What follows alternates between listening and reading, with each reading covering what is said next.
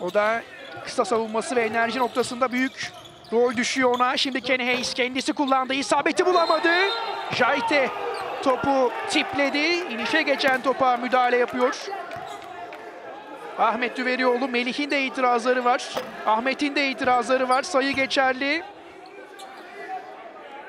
Pozisyonu yeniden görüyoruz. Burada girmeyen top Jaite tipledi ve goaltending kararı çıkıyor. İnişe geçen topa Ahmet Düverioğlu'nun temas ettiği belirtildi ama maçın hakemleri emin olmak için bir kez daha pozisyonu inceleme kararı aldılar. Pozisyon yeniden gözden geçirilecek.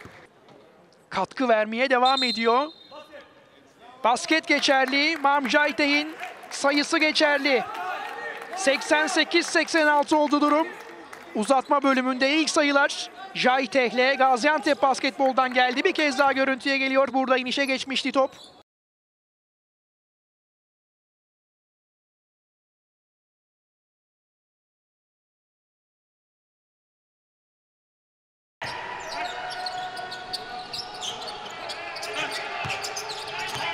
Gökçen'in Köksal.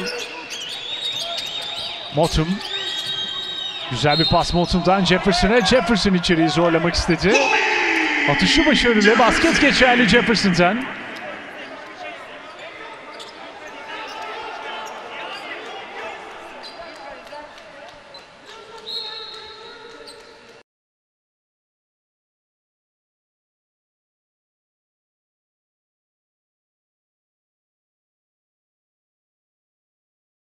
O da maça iyi başlayan oyunculardan bir tanesi Darüşşafaka Tekfen adına.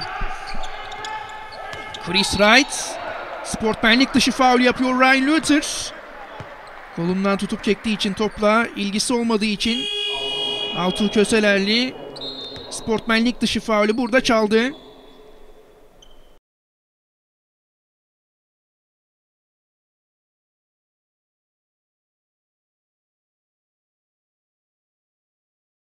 Süresinde atış kaçtı. Zek reboundu alıyor. Sportbank dışı faul kararı geldi. Birkan Batuk. Rakibinin koluna bir müdahalesi vardı Birkan'ın.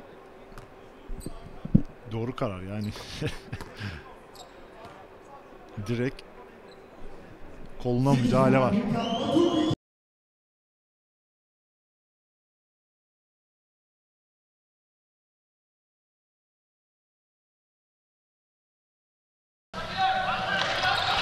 Oraya girdi. Evans topu çaldı Doğuş Balbay'dan. Oldrich'e baktı. Sonrasında sportsmenlik dışı faul kararı geldi Erten Gazi'ye.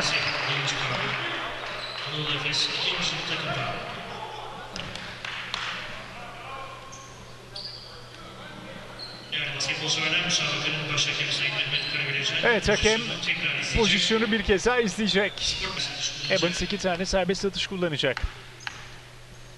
Yeniden ekranlara da yansıdı.